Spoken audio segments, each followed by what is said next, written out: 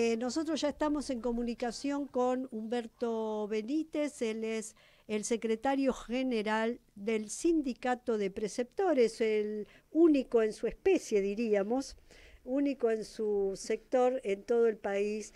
Eh, ya le vamos a preguntar por qué crearon el sindicato de, preceptores, pero también estamos muy interesados en eh, la situación que están viviendo allí en, en Misiones y le damos ya la bienvenida. Humberto, ¿cómo le va? Vivian Elem, Rodolfo Colángel y Jorge Benedetti los saludan.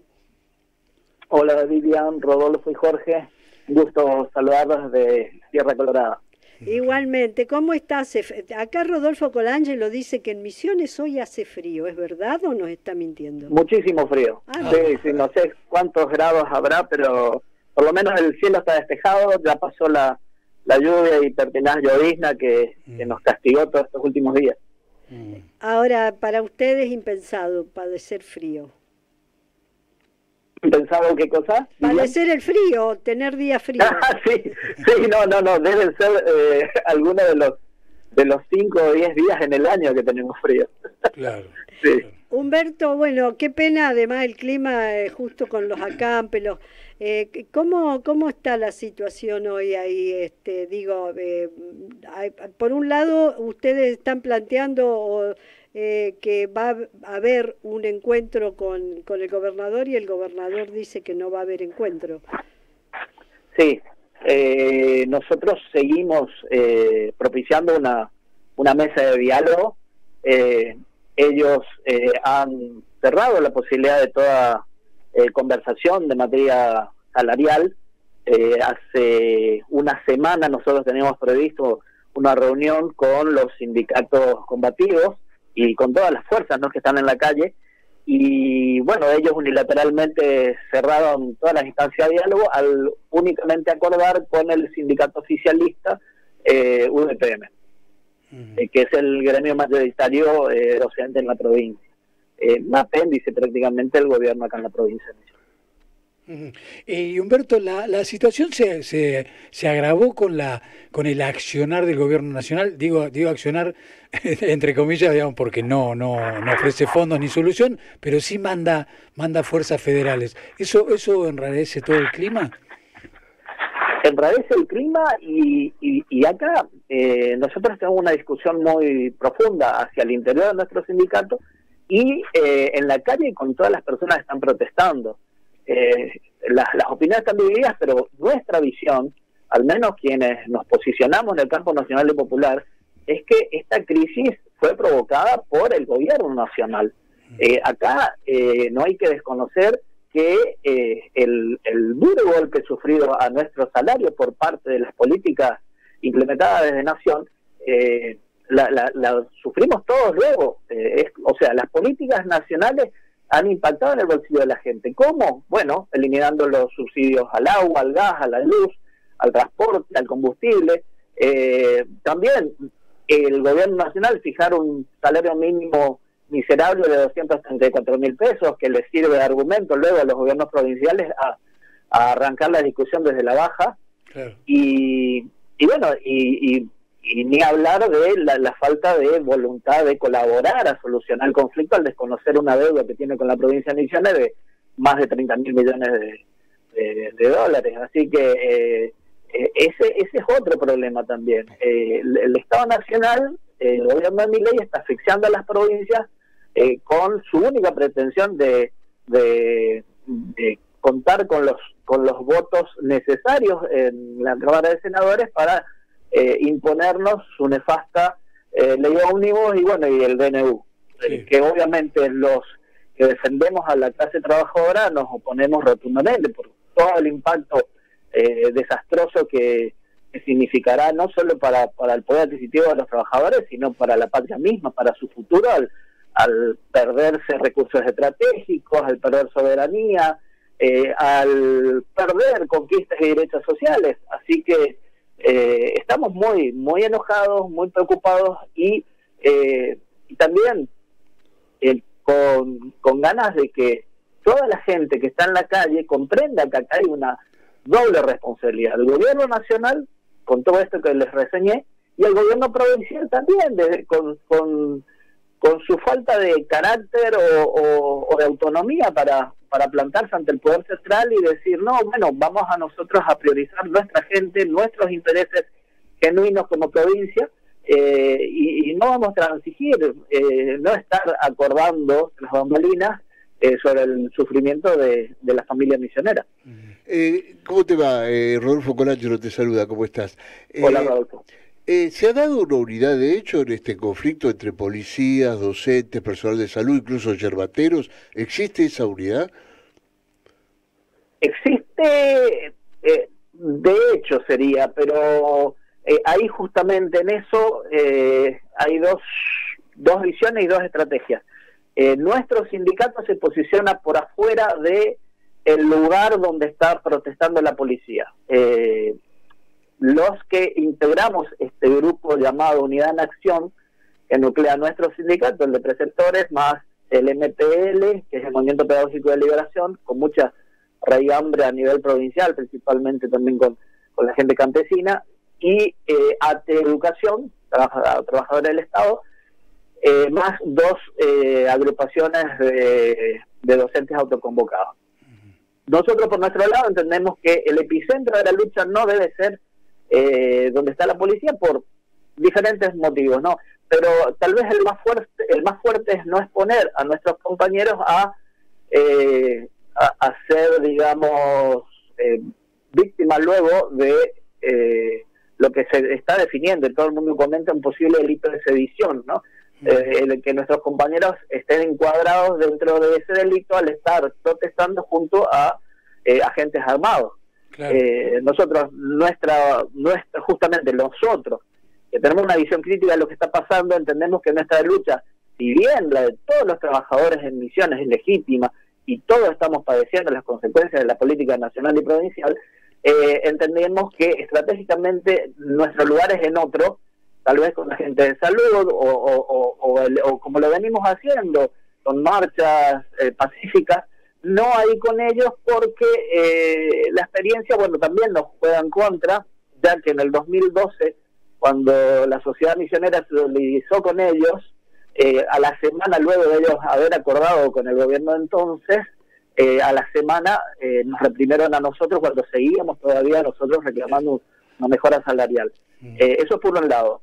Y por otro también, ya esa misma, ese mismo antecedente ya se empezó a materializar el día jueves cuando manifestantes de distintas de distintos sectores marcharon hasta el hasta el Parlamento provincial y fueron reprimidos salvajemente por también efectivos de la policía. Entonces, eh, por esos dos motivos eh, entendíamos nosotros que eh, si bien la lucha es de hecho, es de todos los sectores, pero nosotros entendemos que eh, hacer epicentro al lado de la policía no es, no es lo que correspondía, porque también es como cederle el protagonismo a ellos cuando nosotros venimos luchando no hace 15 días, nosotros venimos desde marzo con paros frecuentes durante la semana, quizás ahora es el todo este mes que prácticamente no se dictó clases.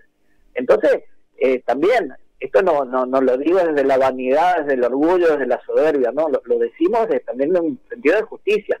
Eh, acá hay una lucha sostenida en el tiempo por salud y educación que no fue visibilizada. Nosotros valoramos que los medios hegemónicos por fin hayan bajado a misiones para, para mostrar la realidad, pero claro, eh, a ellos les preocupa cuando se toca la policía. Eh, nuestro reclamo hace años que está y hace meses que está en la calle y sin embargo eh, los medios eh, nacionales, no ustedes obviamente, por decir medio hegemónico me refiero a los, a los medios más proclives a, la derecha, eh, no visibilizaron eso. De todos modos, entendemos que debemos seguir trabajando mancomunadamente, pero a no prestarnos también a qué otra cuestión.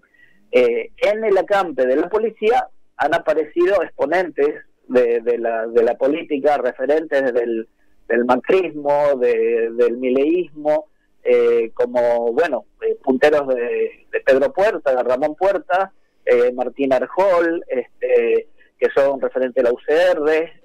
entonces nosotros no queremos quedar pegados con ellos. Lo nuestro es un reclamo legítimo, salarial, social, este, que reviste carácter alimentario y ellos están jugando a la política. ellos están jugando a, rascar algún botito o colgarse de del saco, ponerse el saco de nuestra lucha. Y nosotros, como trabajadores, como sindicalistas, no, no queremos prestarnos a su jugada siniestra. Humberto, el, entiendo el epicentro del, de, la protesta está en Posadas, pero en el resto, de, en el interior de la provincia también se está dando el mismo, la misma protesta con docentes, salud, etcétera, ¿no? Sí, sí, sí, sí. El, justamente eh, durante esta semana hubo cortes sobre la ruta 12 en San Ignacio, Santa Ana, este, Colonia Victoria, El Dorado. Eh, y sobre la, la ruta 14 eh, en, eh, también, también en la zona norte, en, Iguazú, en, el Paso Internacional, en el centro de Apóstol, en el centro de Verá, en fin, en todo el interior también, en el interior provincial también se están expresando los docentes, así que hay el descontento generalizado, no solamente está viendo Posadas, sino el resto de la provincia, el, el lugar estratégico de de, mucho tránsito internacional. Así que pedimos nosotros, hacemos un llamado al, al diálogo al gobierno provincial y, bueno, hasta ahora no hemos obtenido respuesta. Nosotros no acompañamos, de nuestro lado al menos repudiamos también los scratches y, los hechos de violencia que ya quedó demostrado por, por imágenes que están que se han viralizado de que eran militantes de, Franja Morada, de la UCR, que estuvieron fogoneando estos hechos de violencia y que nosotros los repudiamos categóricamente. Nosotros somos pacíficos dentro de las normas eh, eh, de la, del sistema democrático y de la Constitución, vamos, vamos a seguir dando nuestra pelea y es por eso que también esperamos de parte del gobierno provincial eh, voluntad al diálogo. Eh, y del gobierno nacional también esperamos que dejen de lado sus especulaciones y, y provean los recursos para que Misiones pueda tener la solvencia necesaria para darle respuesta a sus trabajadores.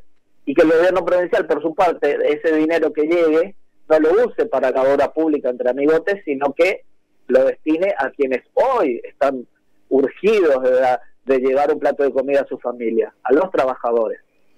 Humberto, ¿cuál es el promedio, el sueldo promedio de docentes, salud, etcétera, en la provincia, incluida la policía? Eh, bueno, nosotros, eh, al menos docentes, eh, estábamos cobrando un piso de 250 mil, 265 mil de alguien que recién se inicia, ¿no es cierto? y ahora el aumento fue como piso a 400 mil, ¿sí? sería un total de 134 mil pesos de aumento equivale para alguien que se recién se inicia a un aumento del 50%, pero en promedio general a todo el espectro de trabajadores, ¿no? Desde el que recién se inicia hasta el que tiene más de, 30 años, 30 eh, o más eh, en el sistema, el aumento es muy exiguo, solo del 32%.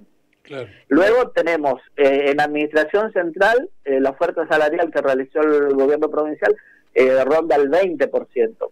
Y a la policía en promedio eh, les han ofrecido un 30%. Por ejemplo, un agente que, recién se inicia estaba cobrando, eh, a ver, 300 mil pesos. Y ahora con la oferta salarial seguiría a 488 mil. Eh, yo creo que eh, ellos tienen que mejorar la oferta.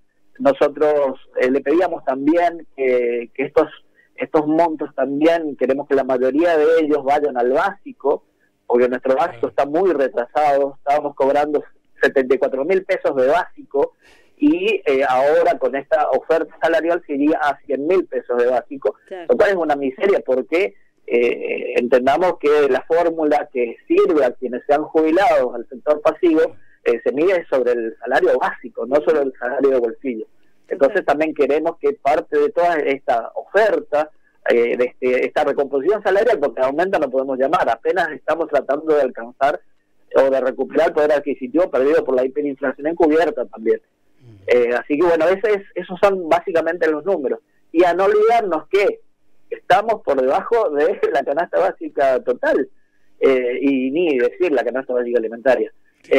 acá en Misiones, según informes del INDEC, eh, la región noroeste, un trabajador debiera cobrar como mínimo un millón cien mil pesos. y ustedes ven que las ofertas salariales se irían de, alguien que recibe inicia a 400 mil. Estamos desfasados, muy por debajo de lo que deberíamos ganar.